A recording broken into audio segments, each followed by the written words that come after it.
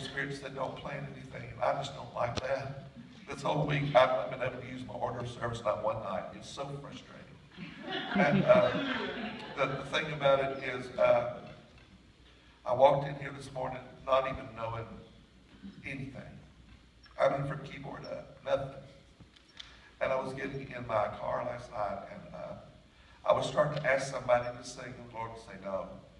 But God, I want to hear her sing. I want to hear, and he just went, not now. And I thought, well, that's not fair.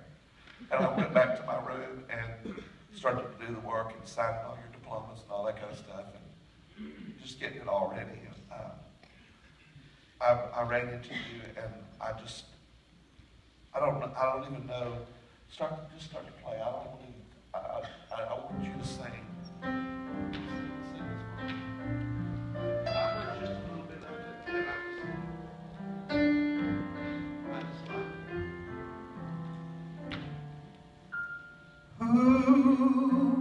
cheer the heart but Jesus.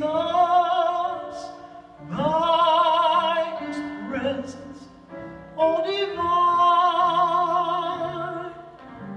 true and tender, pure and precious. Oh,